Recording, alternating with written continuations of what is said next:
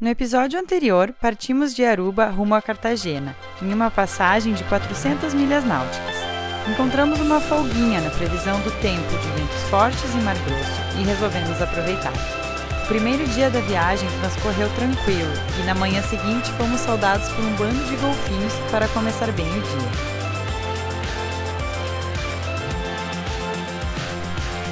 Depois da calmaria das primeiras horas da manhã, abrimos a genoa novamente, mas dessa vez sustentada pelo pau de espina.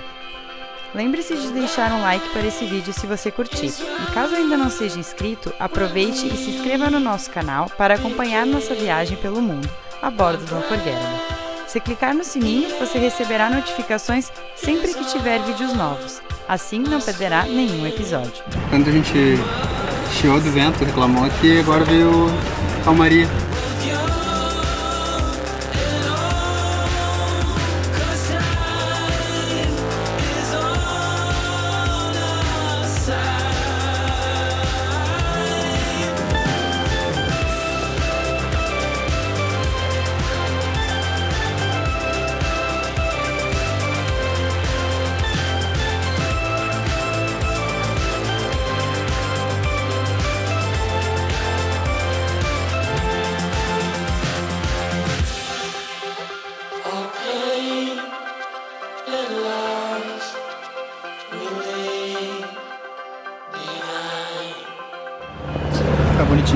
Vai bem esse aqui, hein? O peixe voador veio parar em cima do convés. Tadinho, pena que a gente não viu, senão a gente devolvia ele. É. Será que foi de noite ou foi agora? Deve ter sido de noite, eles se perdem de noite, eu acho. Já tá bem, bem durinho. Bom, essa passagem aqui, é a peculiaridade dela é essa passagem por essa península de Guajira né, e o Cabo da Vela, que é onde existe um empilhamento de onda muito grande. Então a gente tomou um cuidado bem especial aí na, na olhando a meteorologia para sair no dia certo. E realmente é bem ventoso, né? O vento é bem forte e as ondas estão começando a crescer agora. O vento ontem e hoje não estavam tão fortes, mas a previsão era que hoje à noite já ele voltasse a, a aumentar. E então um dia e meio de navegada, tudo bem. Agora que estão pegando vento forte pela primeira vez mesmo, o barco está bem embalado. Estamos usando só a genoa com o pau, né?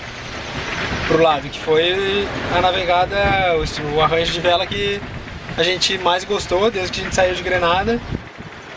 Ele coloca a genoa armada com pau, ela tolera um, um grau de, de variação grande, né? Por causa do piloto se perder na, na onda e tal e dá, dá a velocidade que a gente precisa, né? A gente sempre calcula nossas, nossas passagens com um tempo bem realista, assim, entre 6, 6 e 9,5, tem dado certo.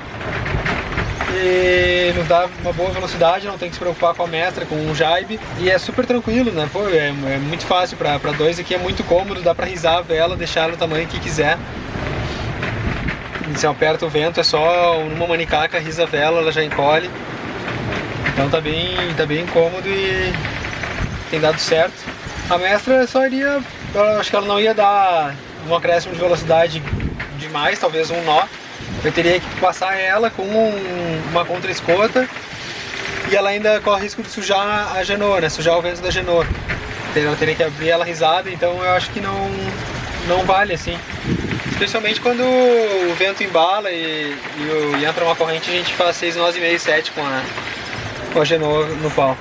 Uma navegada de 400 milhas, ela é diferente, né? De, de, uma navegada que tu sai para voltar ali, onde tu quer tirar tudo do barco e, né? E sentir adrenalina e velejar na, com alta intensidade. Aqui não, a gente é cruzeiro, né? Eu até gosto de ir mais rápido um pouco, porque a gente é agoniado para chegar no lugar logo, mas ainda assim tem que ter um, muito foco na, no cuidado do barco, na preservação do barco, para a chegada, né? E até o nosso próprio conforto também, né? E o conforto, o conforto da tripulação também, né? Às vezes no meio da noite tem um dormindo na catraca e tal, aí putz, às vezes tu vê que uma, uma trimadinha, de repente ajustou, mas tu vai acordar o cidadão dormindo ali, não, aí tem, tem essas coisas também, né?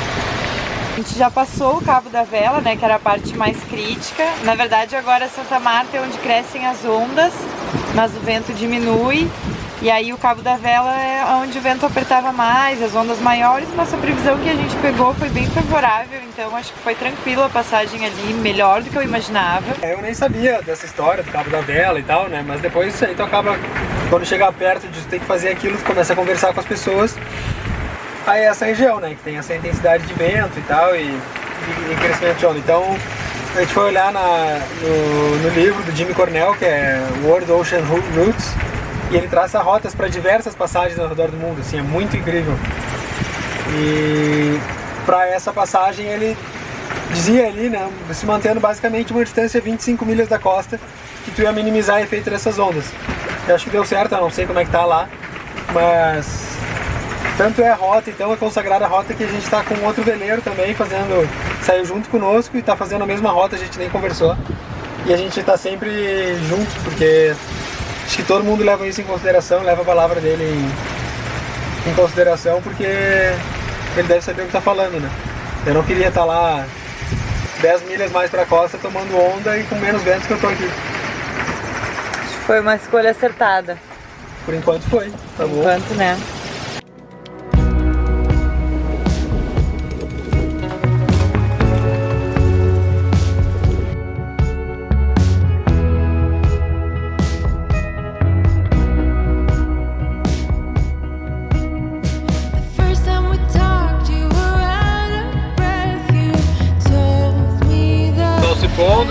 Dia, o mar cresceu bastante, o vento apertou, estamos andando bem rápido.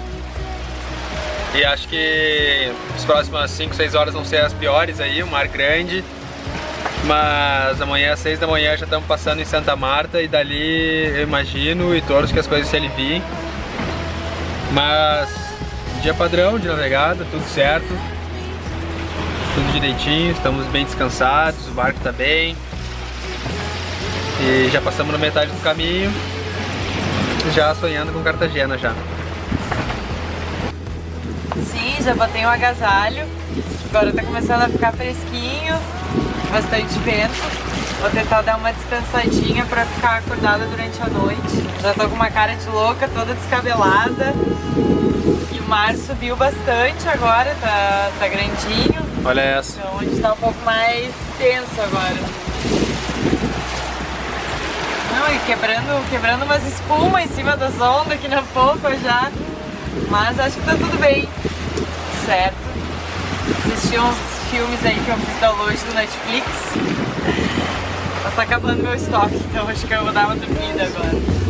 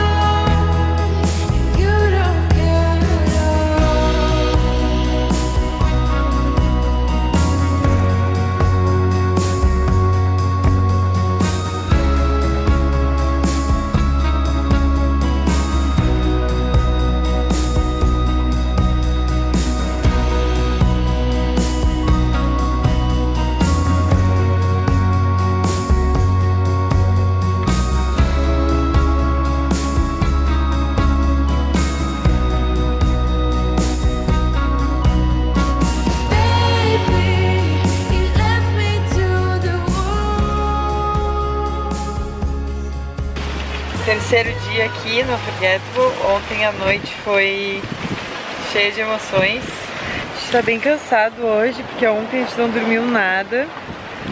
Praticamente nada. O vento à noite subiu muito, tava bem forte, umas rajadas. O piloto de vento tava 35 nós. E aí a gente poucas vezes tinha pego vento tão forte assim no meio do mar e consistente, assim, 20, 20 e poucos, 25, 26, o tempo inteiro, o tempo inteiro. O barco andando super rápido, surfando as ondas a 9 nós na, na, no surf da onda. Ah, Uau, agora tá quebrando umas ondas bem ah, grandes também.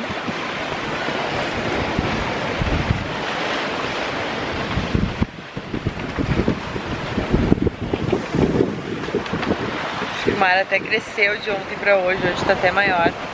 Mas ontem à noite o vento estava muito forte e agora hoje o mar cresceu mais, então agora deve estar uma ondulação de uns 3 metros. Ontem estava aqui uns 2,5 no máximo, mas ventão forte.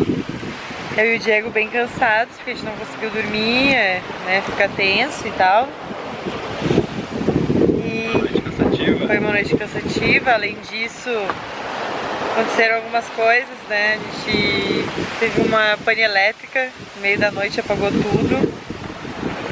Blackout, meio da noite, a gente aqui meio dormindo, blackout, apagou tudo.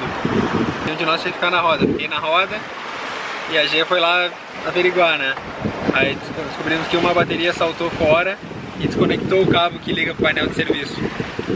Aí a gente teve que fazer um, um jacaré ali para restabelecer a energia e de manhã conseguir consertar.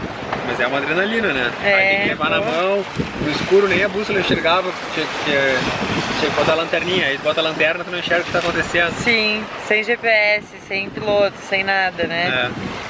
E aí isso nos levou um tempo também, até a gente conseguir resolver tudo. Então quando a gente terminou, acho que era 4 da manhã já. E aí o vento começou a dar uma acalmada e aí a gente desmaiou os dois, um em cada lado aqui.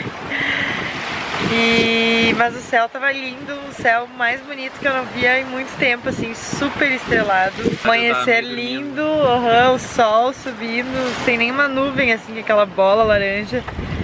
E aí o amanhecer super calmo, mas deu o que? Uma, duas horas, já volta a ventania, volta a onda grande. Essa, esses trajetos mais longos assim, sempre tem que eu pelo menos gosto de manter uma manutenção, né? Então faz umas três rondas por dia em, na cetina, né? Checa build pump, é, vê a máquina do leme, dá uma espiada nela, o, o selo mecânico ali do eixo e outras coisas assim, né? Os vasos sanitários, ver se não estão botando água para dentro. É uma coisa que eu criei o hábito de fazer e é bom, é bom que distrai também. Né? Ajuda a passar o tempo e dá tranquilidade que, tá tudo em ordem. Três metrinhos na série. Vou dar o surf.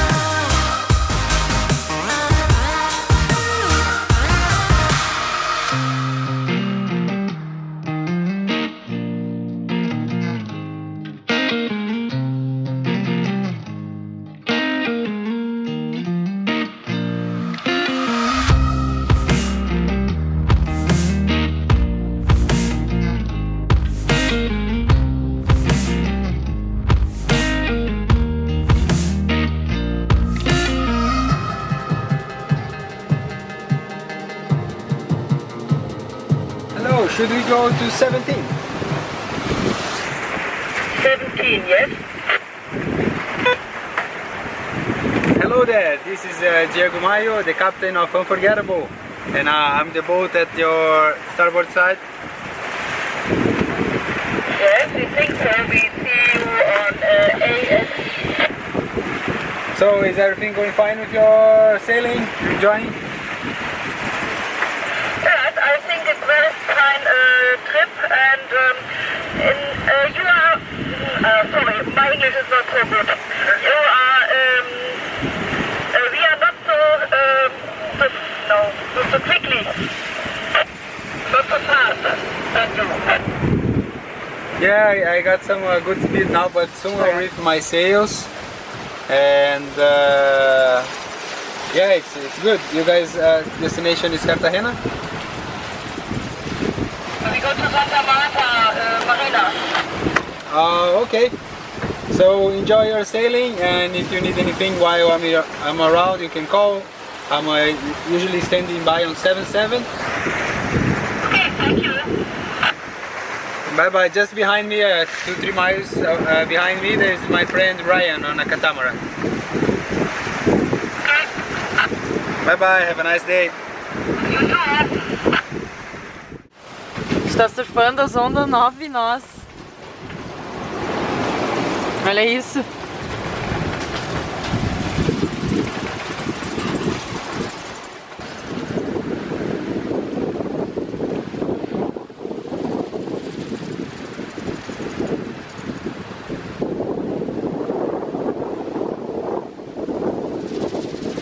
Agora duas da manhã, tô aqui fazendo meu turno.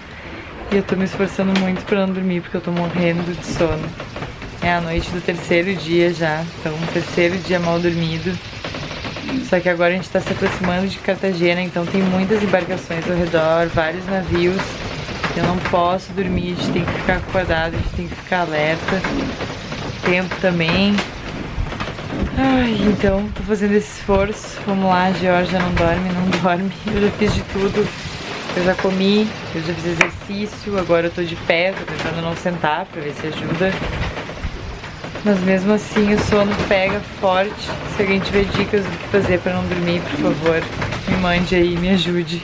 Agora eu tô aqui falando com vocês pra ver se eu consigo me manter acordada. Mas eu tenho a impressão de que assim que eu desligar a câmera eu vou querer dormir. Ai, como eu quero uma cama, me deitar e apagar, apagar, apagar, sem ter que me preocupar. Mas enfim, último dia, vamos lá. You can do it. You can do it, Georgia. Fique acordada.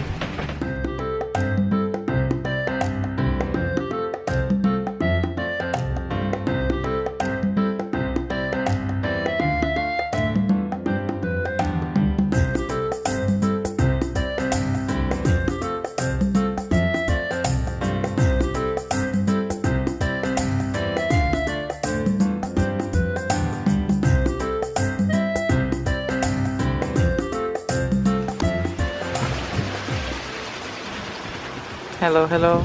Bom dia. Minha vez Tua vez que é. de agonizar de sono. Yeah, yeah. Minha hora de dormir. Tá tão bom aqui. Passa pra cá o travesseiro, cobertinha. Passa pra cá. Minha vez. É, eu vou fazer um balde de café extra forte agora pra chegada em Cartagena. Faltam o quê? Uns 15 milhas. E no, no crítico do sono, então haja café. Boa sorte. Agora é tua vez de ficar aí dançando, cantando, comendo, agonizando. Tem que ficar acordado chegar em Cartagena, não pode dormir. Que hora que eu quero ficar acordado? Agora me passou o sono. Por meia hora. Sim, eu não, pra mim não passou.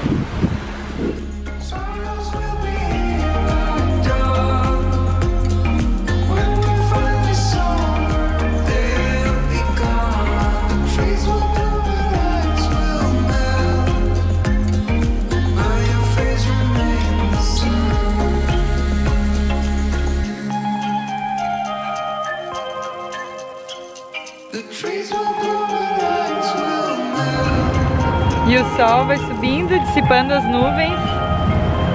E a cidade começa a se descortinar pra gente aqui. Nos acompanhe na próxima semana, enquanto aportamos na histórica Cartagena de Índias e exploramos esse novo destino, cheio de charme e latinidade. Obrigada por assistir e se puder e quiser se juntar à tripulação, torne-se um apoiador, assim nós conseguimos trazer cada vez mais conteúdo para vocês e em troca oferecemos recompensas. É só clicar no card do Apoia-se no final do vídeo e conferir as opções. Até o próximo episódio e bons ventos!